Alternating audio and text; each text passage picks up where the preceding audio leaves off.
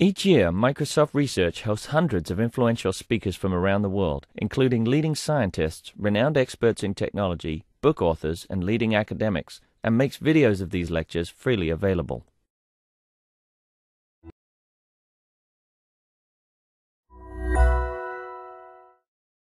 Uh, all right, so without further ado, we're going to go to the second project, which is about city bikes called Self Balancing Bikes. I'm just going to turn it over uh, to Donald Hanson, who's going to kick it off.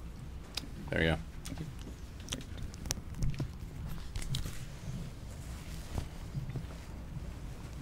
Good evening. so, again, my name is Donald Hanson, and the name of our project is Self Balancing Bikes in Bike Schemes.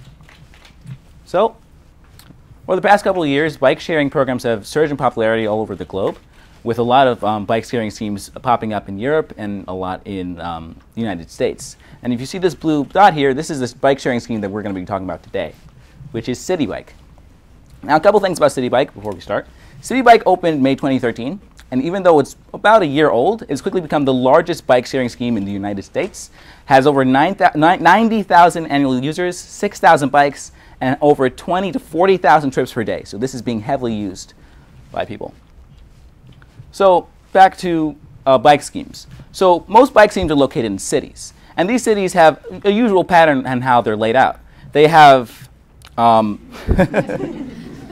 they have populated business areas throughout the city, and then populated residential areas. So on a normal day, pe right, people who live in the city are going to be going traveling to the business areas in the morning, and at night they're going to go from those business areas back into the residential areas. And we're seeing that with that happens with bike schemes as well. So these riders are taking bikes from these residential areas and moving all of them to the business areas, and at the end of the day, they take the bikes and they move them all back to the residential areas. Now, this is good, but this creates a load imbalance problem. And basically, you're going to see a lot of stations that are empty at certain times, and at the same time, um, maybe a couple blocks away, there's going to be stations that are completely full. So this is a problem that all bike, bike schemes face. Now, what Citi Bike's doing to try to fix this problem is they're taking vans and they're transporting bikes to empty stations. So basically, here's an example. Let's say in Midtown we have a station that has about, you know, that's completely full, and a couple blocks away we have a station that's empty. What the vans do is they take bikes from these full stations and move them over to the empty stations to try to help ease the demand on both stations. And this varies um, on how popular the station is. So for every 10 to 20 rider trips, there's one van transport, in which um, and the transport the transports amount to 10 to 15 percent of their gross revenue, which is a lot of a heavy cost on the Citi Bike program. And basically, this is very costly for Citi Bike, and they're trying to look into new ways to um, help solve this problem without you know pouring out more money. So one of the things we try to look at is can we use riders because there's so many riders. Can we use riders to help naturally balance the system? And would small changes in the riders' routes, uh, routes help? So again, this would be um, basically looking at how well you know these vans are doing right now and seeing could this help us potentially. So before we went into the analysis, we needed to have some data. So we got our data from two main places. The first was from Citi Bike's website, and they give us system data. So you can see here they give us trips. So for each trip, we have the bike ID, so which bike it was, the start time, start station, start station, end station, and some more information. And they have this data from July 2013 to um, May 2014. And this basically gives us rider movement. So we're, we're knowing where the bikes are going, and where they're coming. And also, we got data from Abe Stanway, who's a uh, data engineer. And he collected data from Citi Bike over the process of over the process of a year, a couple months. And basically, at each moment, he took a snapshot of how many bikes were at a station and how many um, docks were available to park the bike at those stations. And that basically gives us an idea of how well each station is doing. So how many bikes are at each station. So all this data gives us a complete view of the network and how well Citi Bike is doing in general. So using that, we, we made some basic plots to see how the city, um, Citi Bike is working. So over here we have user, usage patterns over the day. On the x-axis we have time, so over like a 24-hour uh, interval. And on the y-axis we have the number of trips. So the red line represents the weekdays and the green line represents the weekends. As you can see, the number of trips during the weekday peaks at certain times between the rush hour times, 6, uh, 6 a.m., 10 a.m., when people are going to work, and it peaks again at the end of the day at between 4 p.m. and 8 a.m. when people are leaving work. And this makes sense. So, but if you, if you look at the weekends, the weekends are less is going on because they're more of joy rides and things like that. So for our analysis, we're going to be analyzing the weekdays because that's the, those are the times that we actually care about, like the demand in the system. And the last thing we, we looked at, um, the ne next thing we analyzed was the trip length, just looking at how long um, each trip is. It's between typical 15 and 30 city blocks. They're seeing like how far they're going on average. So it's something we usually look at. And to talk about the system health and how well um, stations doing is my colleague Jahaziel.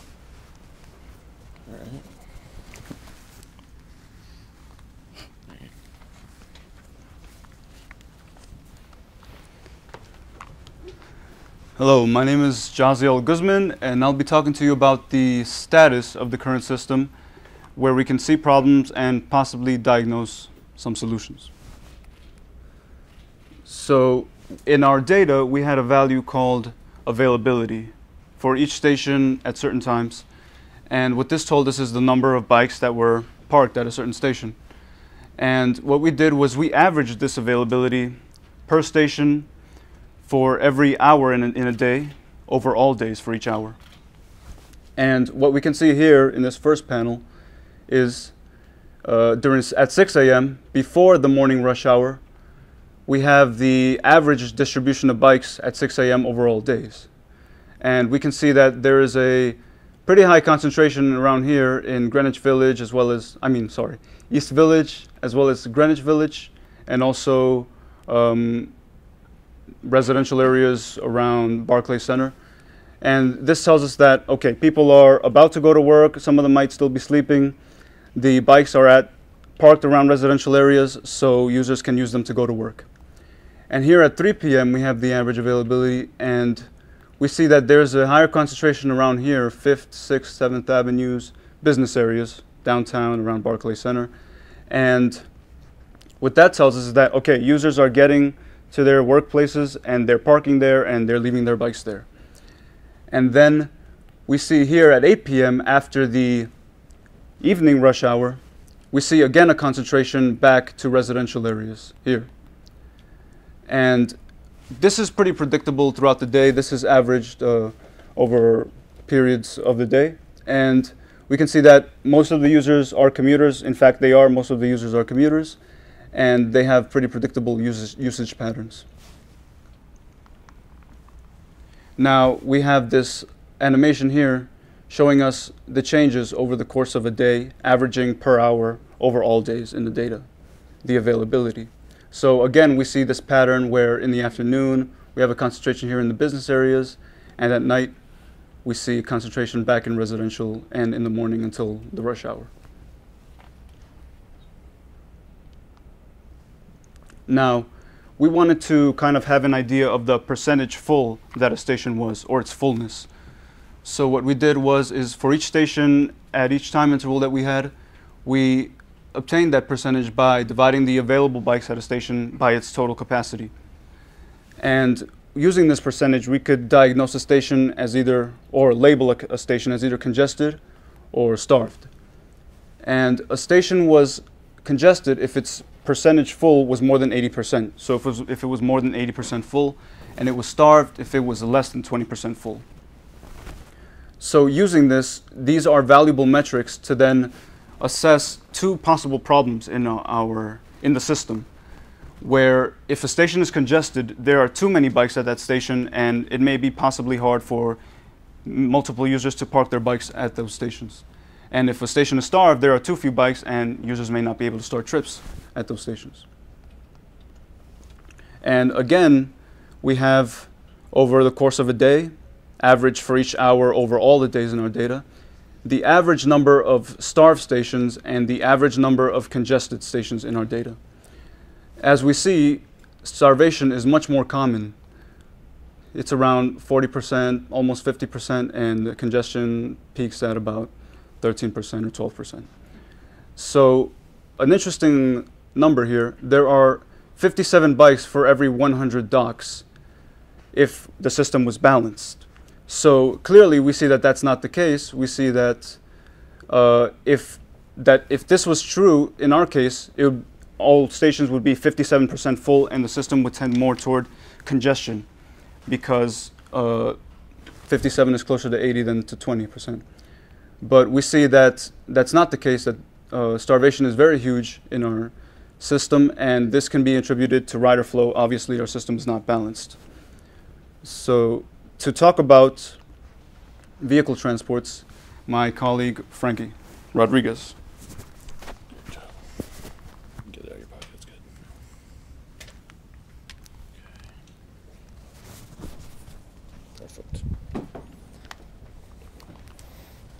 Okay, thank you.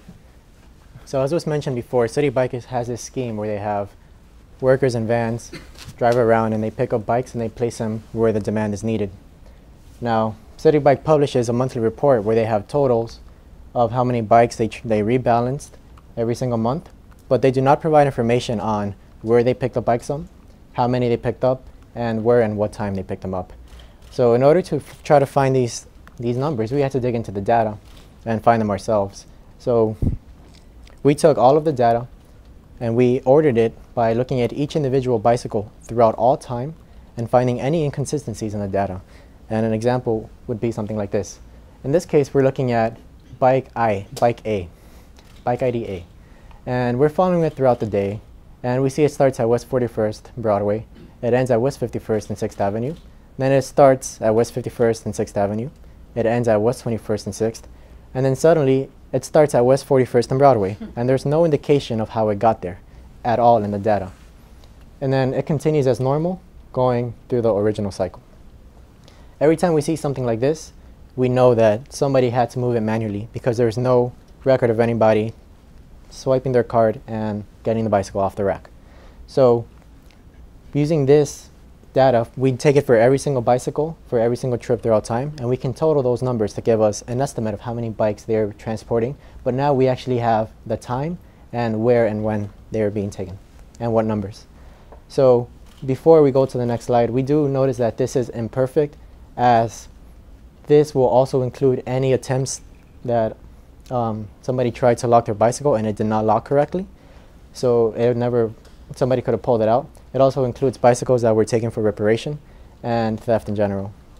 So using this data, we can now make a plot where we have the maps of where the bicycles are being picked up and where they are being dropped off.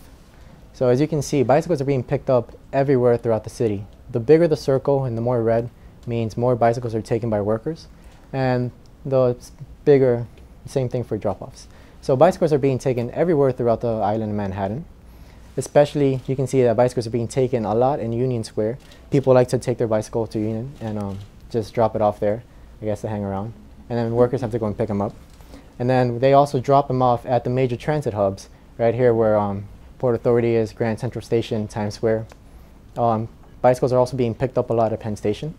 And if you notice, they're dropped off much less around the outskirts, whereas they are picked up a lot more around the outskirts of Manhattan.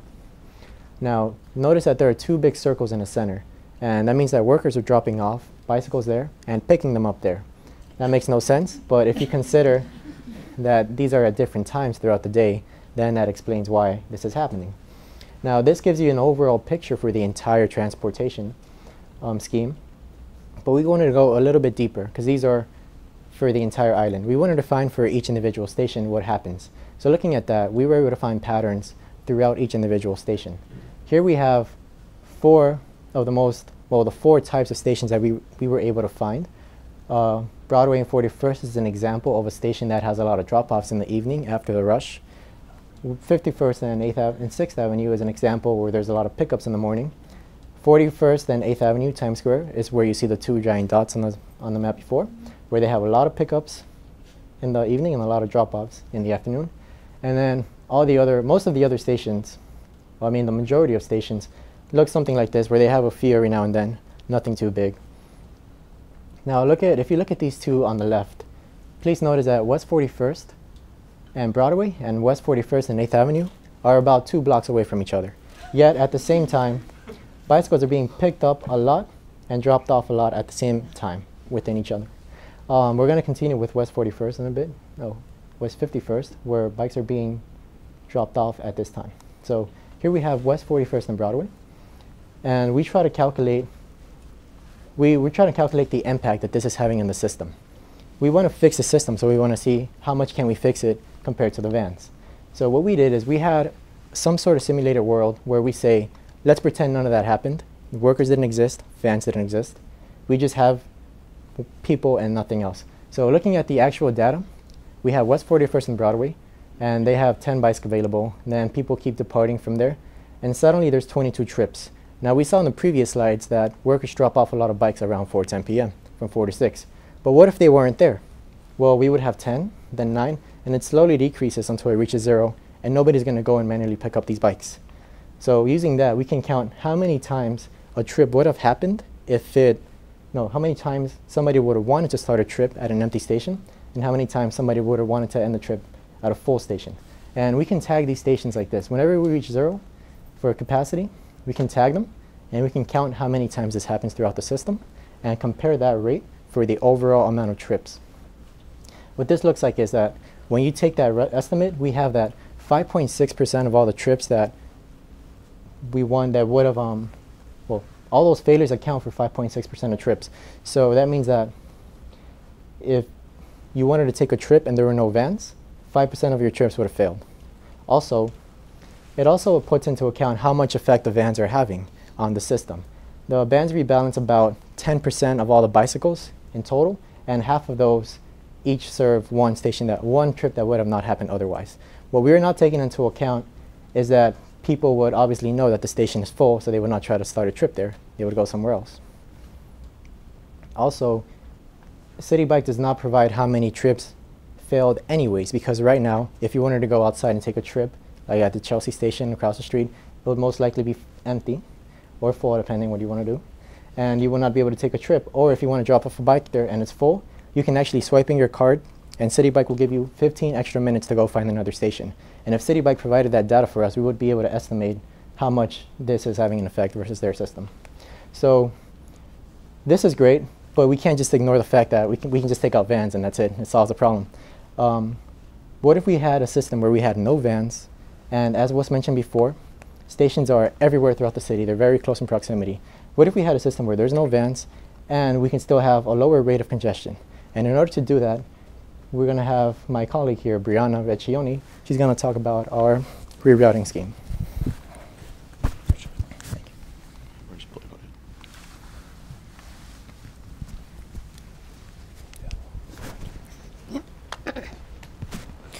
All right, thank you, Frankie, for very thorough introduction. Um, yeah, so as Frankie said before, uh, we did our first simulation assuming that there were no vans in the system, and now we're going to do a simulation um, that attempts to rebalance the system using rider rerouting. Okay, so what was our potential for local rebalancing? Well, according to our statistics, the median distance to the nearest station is 218 meters. And by that same token, the median distance to the third nearest station is 311 meters. So what does that mean? That basically means that 91% of all of the stations have another station within 300 meters. Now that's about the same length as one New York City Avenue, so clearly these stations are not very far apart. So if we can find the availability and the differences between the availability at any given time, we might be able to have some serious potential for local rebalancing. Right? So that's exactly what we did. Um, right here on our x-axis is every station's availability. And on our y-axis, we called our average neighbor's availability. Now what this means, essentially, is that for any given station, we took the three nearest stations and averaged their availability into one exact value, and then plotted it on the chart right here. Um, this chart uh, depicts the system at 6 p.m.